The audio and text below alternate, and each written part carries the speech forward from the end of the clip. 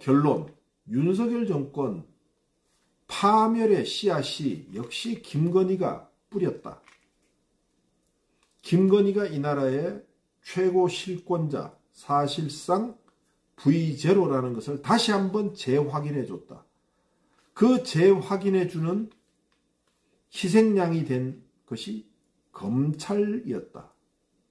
윤석열의 가장 중요한 권력 유지 수단, 검찰에 대해서 검찰 역사상 가장 추악한 치욕을 안기면서 김건희는 자신의 건재함을 과시했다. 이게 결론입니다. 이제 검찰, 김건희, 윤석열 권력에 대해서 치욕을 당한 이 검찰, 사상 최악의 치욕을 당한 이 검찰이 윤석열 김건희에게 대해서 어떻게 반응할까요? 어떤 반응을 보일까요? 가만히 있으면 쪼다가 되고 민주정부가 들어오면 검찰청 그대로 날아갑니다. 끝나요. 끝났어. 끝났어. 원서가 아, 원석, 이원석 총장님, 네, 후배님, 이원석 후배님, 결론 잘 내리시기 바랍니다. 영웅이 되라는 말씀은 드리지 않겠습니다. 그냥 맡은 바 소임은 다 하십시오. 검찰이 당한 사상 최악의 치욕. 옛날에 김영삼 정부 초기에 깜짝 놀랄 만한 검찰의 치욕이 있었습니다. 스스로 자초한 치욕. 그게 뭐였느냐?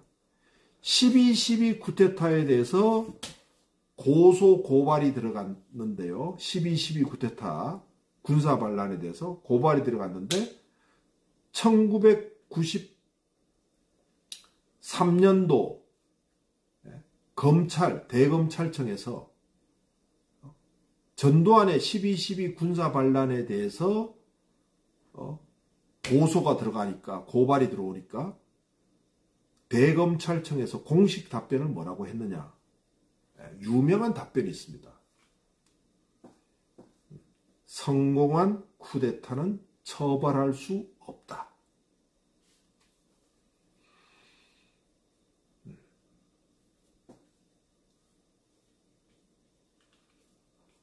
그때 검사, 검찰총장, 그리고 그걸 결론 내렸던 검사들, 전원 다 김영삼 대통령에 의해서 목이 다 날아갔습니다. 성공한 쿠데타는 처벌할 수 없다고 그 보고를 받은 김영삼 대통령, 당시 김영삼 대통령이 12.12 전두환의 군사 반란에 대해서 검찰의 공식 입장이 성공한 쿠데타는 처벌할 수 없다는 답변이 나오니까 청와대가 뒤집어졌습니다. 영세미 대통령, YS 대통령이 어? 이 배려장 말이 없는 검사 새끼들이 성공한 쿠데타는 처벌할 수 없다고 12.12 쿠데타의 피해자 가운데 한 사람인 김영삼이지 않습니까? 전두환 세력의 피해자 가운데 한 사람입니다.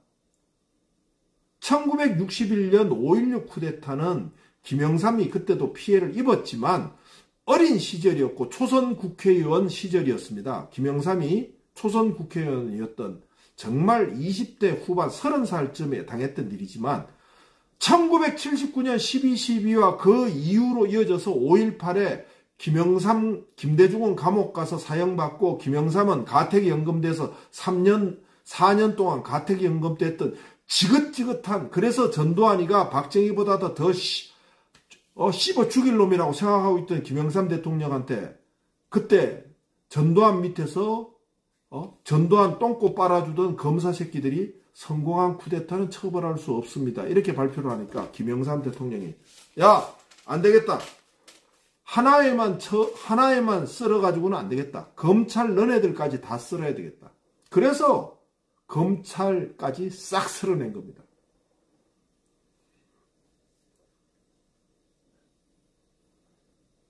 김영삼 대통령이 1993년 3월에 하나회 척결로 순식간에 수십 명의 똥별들, 하나회 똥별들을 날렸고, 그 다음에 검사들에게 던져진 숙제였던 12.12 쿠데타 문제를 어떻게 할래? 라는 숙제에 대해서 성공한 쿠데타는 처벌할 수 없다고 답변을 하자 검찰총장부터 수뇌부, 최고주의부 전원을 김영삼 대통령이 모가지를 싹 다 날렸습니다.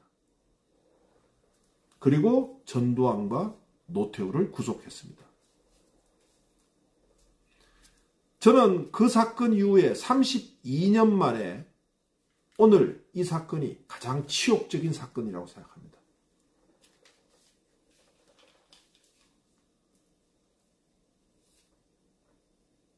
(2019년에) 윤석열 검찰총장에 의한 어, 연성 쿠데타 조국 법무부 장관 지명자에 대한 공격 사실상 문재인 정부의 인사권에 대한 검찰의 쿠데타 시도 이건 반헌법적이죠. 나중에 다 처벌될 겁니다. 나는 그거 끝까지 기억하고 있어요.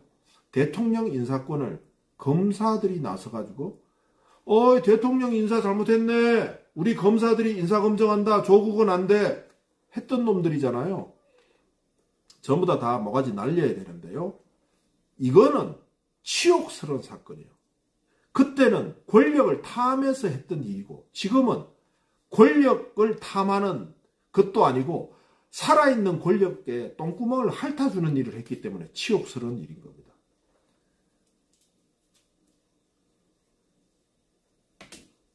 전두환 노태우 군사 독재의 똥구멍, 죽은 이미 사라진 권력에 대해서 똥꼬를 핥아줬던 검사들도 날라갔습니다.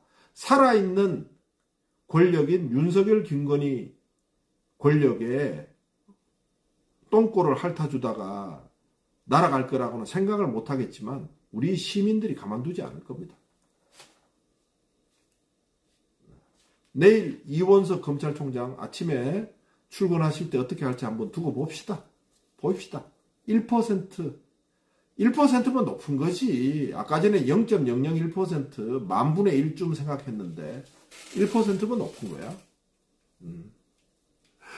네, 우리 김원숙 권사님께서 이원석 검찰총장은 오늘 밤 구약 애써서 예, 애써서 10번 읽고 묵상하고 내일 새 아침을 새날을 맞이하기 바란다. 네, 우리 우리 김원숙 권사님의 권면의 말씀. 네, 원서가 너 교회도 다니고 그랬잖아. 우리 시절은 누구나 다 교회를 다 다녔잖아. 예수쟁이였어. 원석이 니도 한번 듣고 해. 애써서 읽고 묵상하고 한번 하자. 감사합니다.